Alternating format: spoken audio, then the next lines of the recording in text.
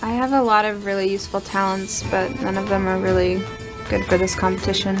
Like, I'm really good at making fun of people dancing. I've invented 10 emoticons. I can walk up a down escalator in like two seconds. I can fit my body into small spaces. I can tell instantly whether someone is fat or pregnant with 60% accuracy. I can sneak like three dogs into a movie theater. I can convince my grandmother that I'm not real. I can win a staring contest with a cat. I can make any security guard suspicious of me. I can convince my mom that I'm adopted.